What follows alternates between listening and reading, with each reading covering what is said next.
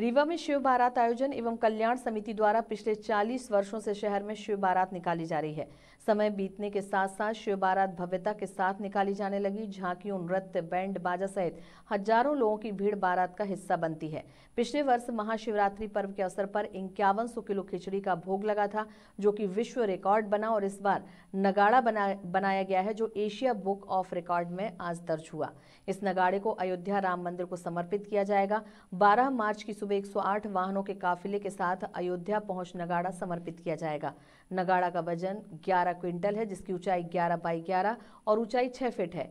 Asia book of record की तरफ़ से जज के तौर पर जाँच करने पहुँचे एक एजेंट ने रिकॉर्ड अनाउंस करते हुए प्रमाण पत्र व मेडल प्रदान किया। महाशिवरात्रि के पर्व पर निकाली गई बारात में नगाड़ा भी चल समारोह में शामिल हुआ। स्वयं प्रदेश के उप मुख्यमंत्री राजेंद्र शुक्ल ने तारीफ़ करते हुए कहा कि अयोध्या में रीवा की ही चर्चा है। नगाड़ा के रूप में अब रीवा का भी योगदान राम मंदिर में होगा।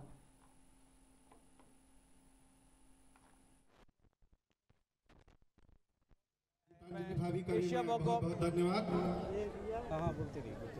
एशिया बुक ऑफ़ रिकॉर्ड की ओर से डॉक्टर ए के जैन यहाँ रीवा इस समिति द्वारा बनाए गए देश के सबसे बड़े नगाड़े के रिकॉर्ड के लिए मैं आया और यहाँ पर मैंने पाया कि ये नगाड़ा जो है 1100 किलो वजनी और जिसका डायमीटर 32 फीट का है और इसकी हाइट जो है वो 6 फीट के करीब है।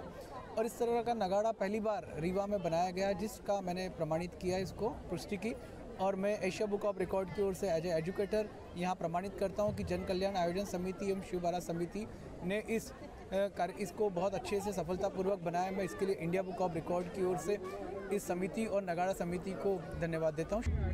ये तो प्रभु की नगरी है और देवों के देव महादेव की है। महामृत्युंजय की नगरी में उत्साह और- बढ़ता जा रहा है आनंद का उत्सव है। यही सब कुछ है। सभी शुभकामनाएँ। सभी को शुभकामना है और आनंद है। शरीर तो मट्टी है और इसको जितना आनंद लेना सके ले लो। आज तो नहीं तो कल मिट्टी में ही चले जाना है। तो उत्साह से आनंद लीजिए आज देवों के देव का है? सृष्टि के रचयिता का ब्याह है। विकास के साथ साथ धार्मिक, सांस्कृतिक आयोजनों में भी अपनी बहुत ही महत्वपूर्ण भूमिका निभा रहा है। उसी कड़ी में शिवरा शिव बारात के द्वारा जो महाशिवरात्रि में आयोजन होता है, वो बहुत ही अद्भुत होने लगा है। धीरे धीरे करके कारवा चलता रहा और लोग जुड़ते गए और इस प्रकार से एक भव्य आयोजन होते हुए हम लोग देख रहे हैं। आज भगवान शिव की आराधना होगी और भगवान शिव का आशीर्वाद हमारे न सिर्फ़ रीवा बिंदु को, बल्कि पूरे प्रदेश और देश को मिले। इसी कामना के साथ शिव बारात का यहाँ पर एक भव्य आयोजन पिछले कई वर्षों से किया जा रहा है। इसके साथ ही आज एक विशिष्ट पहल